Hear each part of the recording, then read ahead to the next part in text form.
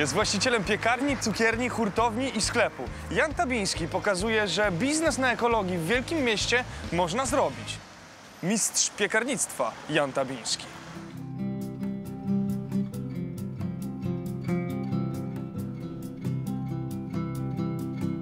Jak się prowadzi biznes ekologiczny w dużym mieście?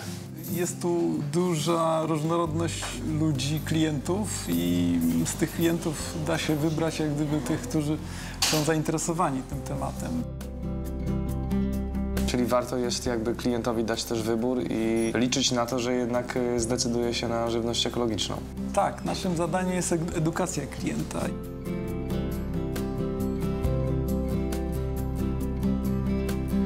Oprócz kawiarni ekologicznej ma pan jeszcze sklep z ekologicznymi produktami.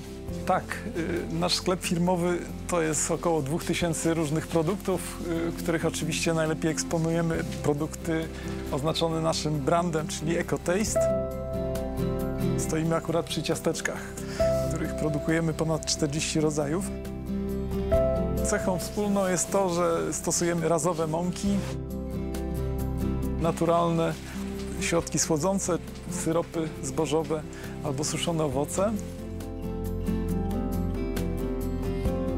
Ten wybór produktów jest naprawdę spory. Znalazłem e, na półce m.in. seitan.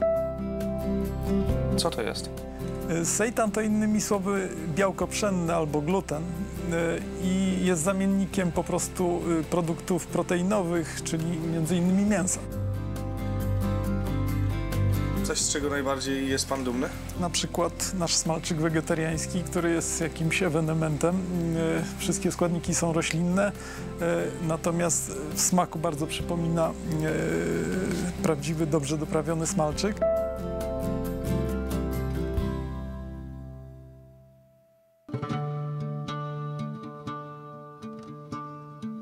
To trochę jak pomiędzy dziełem sztuki a cudem.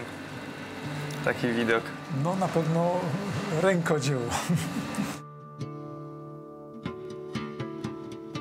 Ciasto jak ciało kobiety. Wymaga, że tak powiem, delikatnego masowania i pewnej czułości.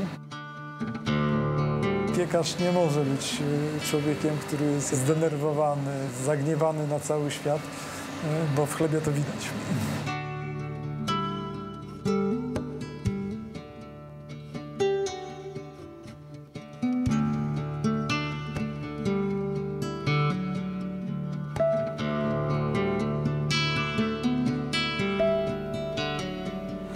Kukurydziany albo gryczany to najlepsze wybory dla alergików. Tak, no jest coraz więcej ludzi, którzy y, szukają pieczywa właśnie bez y, pszenicy, bez żyta. Opracowaliśmy takie receptury i te chleby nam się rzeczywiście udały, także ja jestem zadowolony.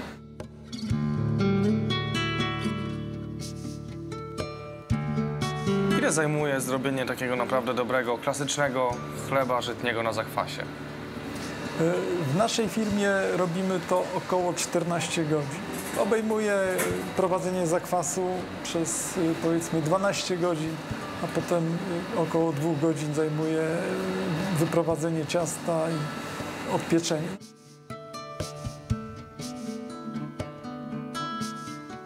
To oznacza, że produkcja dobrego pieczywa jest związana z konkretnymi kosztami, czyli dobry chleb musi kosztować.